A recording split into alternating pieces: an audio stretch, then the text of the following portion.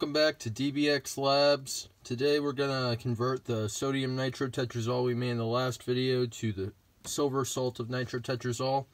And uh, we're not going to make a whole lot of the silver salt um, because it is more sensitive than the sodium salt, but it does have uh, more energetic properties to it and we'll address those in this video. Now the source of silver that I will be using in this video comes from a US dime from before 1965. Uh, these US dimes are 90% uh, silver um, and 10% copper. Now in this procedure, uh, I find that that 10% copper will be negligible for the yield because that will um, uh, react with the nitrotetrazole and forms copper, uh, form copper to nitrotetrazole which isn't the copper one nitrotetrazole, um, which is designated as uh, um, uh, DBX1. So we'll make that in the next video. Uh, for now, we're just going to um, assume that that 10% copper uh, is negligible uh, towards our yield of silver nitrotetrazole. I find that it makes very little difference with the reactivity. I have ran the procedure with pure silver uh, after precipitating out the silver um, from the silver and copper nitrate solutions and um, uh, reacting it with nitric acid again, but it, I find it makes no difference. Um, it works either way, and the uh, sensitivity of the compound is the same regardless. I have prepared the two solutions. Uh, over here I have the silver nitrate in solution, and over here the sodium nitrotetrazole. Um, now I will just react uh, the two in a one-step precipitation reaction. Um, I'm going to go the silver nitrate into the nitrotetrazole solution, but uh, it doesn't really matter. So um, there is no exotherm in this reaction, and it goes quite smoothly.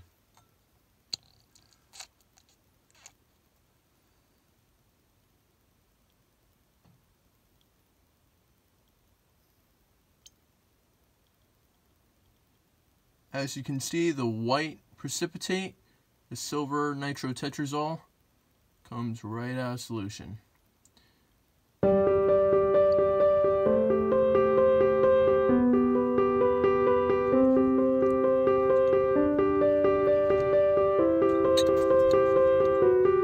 If both starting solutions were saturated, we should be left with a thick white precipitate.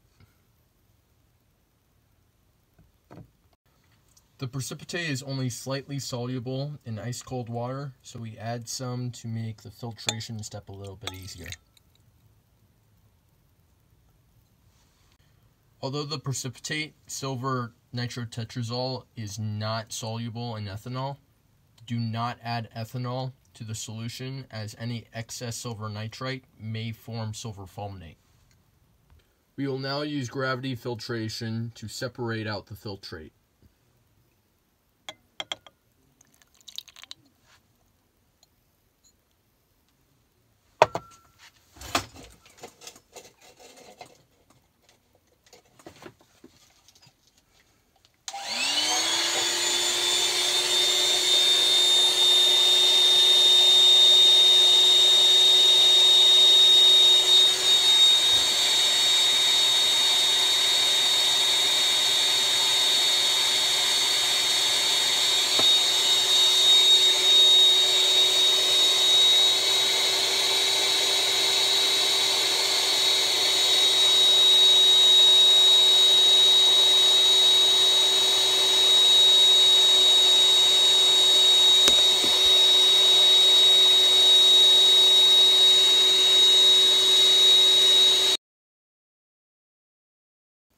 Small amounts of the wet product detonate after sustained heating.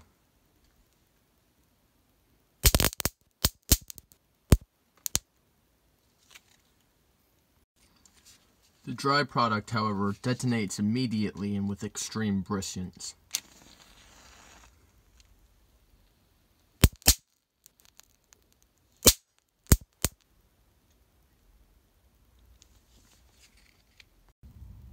What the silver salt really has going for it is it has a very low DDT, definitely, deflagration to detonation temperature. I believe it's something like uh, 190 degrees Celsius, uh, which is low enough for an energetic to uh, have it, a use as a primary, um, uh, but not high enough that it um, it can't be reached by a fuse. Um, the other thing it has going for it is it doesn't have to melt before it detonates, like um, say sodium nitrotetrazole, which we saw in the last video. It does have to melt before it detonates, and that makes it unusable as a primary because uh, if it has to melt before it detonates, that also means it has to absorb thermal energy from the fuse, uh, which may mean that it won't go off at all because you may uh, just have molten nitrotetrazole, I, I mean sodium nitrotetrazole, which um, hasn't gone off because all the energy went to melting it, not setting it off. Uh, this stuff, as soon as it reaches 190 degrees Celsius, it goes off, and uh, that's pretty clear to see um, when you do the um, the heating tests from underneath the, the test, uh, the test sample. So here I have a match. I'm going to blow it out and we'll take that hot ember and set it off.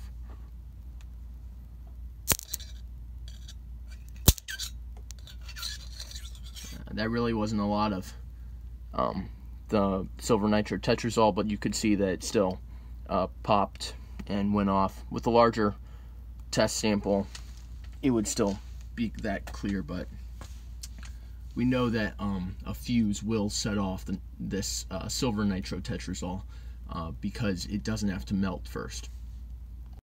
In tests for shock sensitivity, the dry product detonates uncontained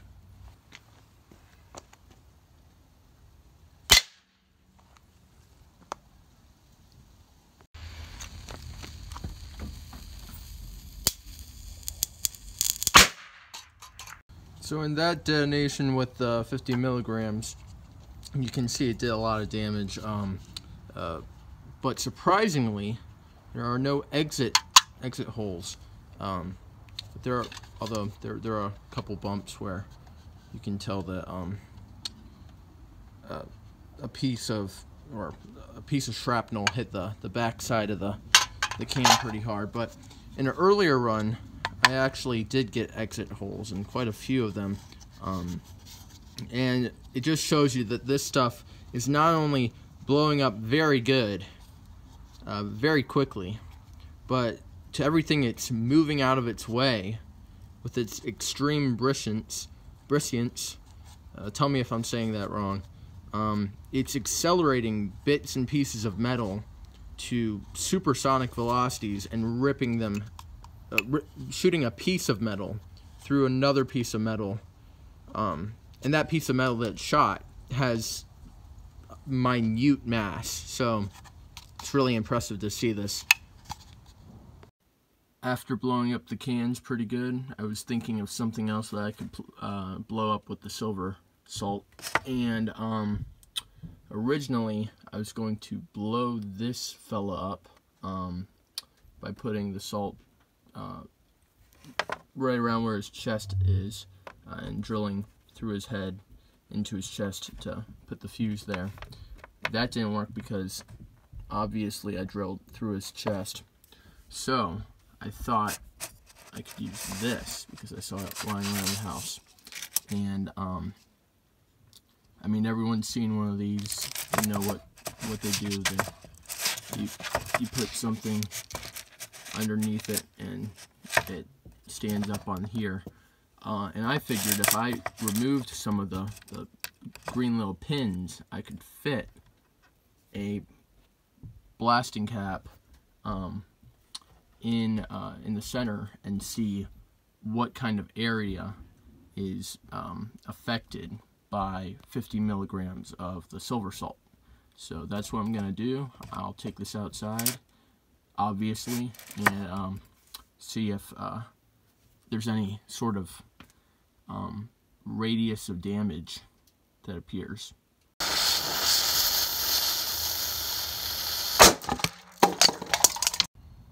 Well, it did a lot of damage, that's for sure. Um, it uh, I don't think it broke the uh, the black plastic of it, but it certainly um, destroyed a good part of this, and you can see there's that radius of damage. A few of these came out, um, and these are broken, so they're like half the length of the um, of the pins before they were shattered. And um, I'd say that's a successful demolition. I don't think that's even a demolition, but it was successful. I didn't think it would do this much, um, but it did. It was only 50 milligrams of the silver salt, so that that's a win. That's a win in my opinion. So it's cool. Thank you all for watching today's episode of DBX Labs. Um, on the next video, I'm going to either make um, copper 1 nitrotetrazole or um, the tetrazene. That's a very interesting energetic um, that's kind of fun to work with.